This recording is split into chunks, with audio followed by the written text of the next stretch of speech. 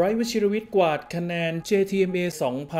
2021 ถล่มทลายขึ้นอันดับหนึ่งศิลปินหน้าใหม่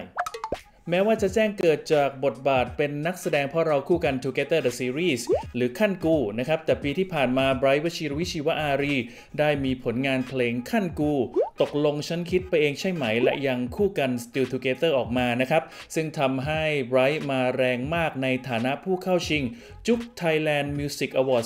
2021 สาขา Top Social Artist of the Year และสาขาศิลปินหน้าใหม่แห่งปีนะฮะ ซึ่งตอนนี้คะแนนของไบรท์นะครับได้ขึ้นนำไปเป็นที่เรียบร้อยแล้วนะครับ ล่าสุดในวันที่ 30 เมษายนนะฮะ ตอนนี้คะแนนของไบรท์ได้ขึ้นมาอยู่ที่อันดับหนึ่งด้วยคะแนน2ล้าน2แสนนะครับ มีคะแนนมาเป็นอันดับหนึ่งในขณะนี้นะฮะ ซึ่งทางฝั่ง Top Social Artist of the Year นะครับ ตอนนี้ไบรท์มีคะแนนโหวตอยู่ใน Top 5อีกด้วย ซึ่งคะแนนณตอนนี้อัปเดตถึงวันที่ 30 เมษายน เวลา 12 นาฬิกา นอกจากคะแนนโหวตแล้วนะครับ อีกสิ่งหนึ่งที่ทำให้ไบรท์เป็นผู้เข้าชิงเวที Jux Thailand Music Award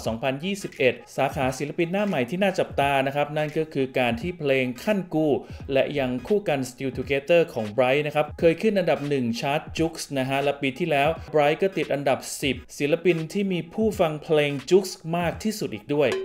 ณตอนนี้นะฮะแฟนๆ สามารถโหวตให้ไบรท์และผู้เข้าจริงท่านอื่นๆ ได้นะครับ ถึงวันที่ 9 พฤษภาคม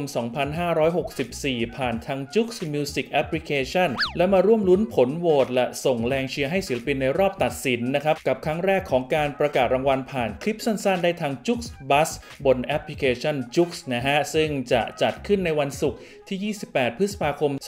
2564 เวลา 18 นาฬิกาทาง Jux Music Application นะครับขอขอบคุณข้อมูลดีๆจากสนุก .com และขอขอบคุณทุกท่านที่ติดตาม ฝากกดไลค์ กดแชร์ กด Subscribe เพื่อเป็นกำลังใจให้กันด้วยนะครับ เราเจอกันใหม่ในคลิปหน้าสำหรับวันนี้ สวัสดีครับ ติดตามห้องข่าวพีนิวได้ทาง Facebook Twitter และ IG หรือสแกน QR Code ที่ขึ้นอยู่หน้าจอได้เลยนะครับ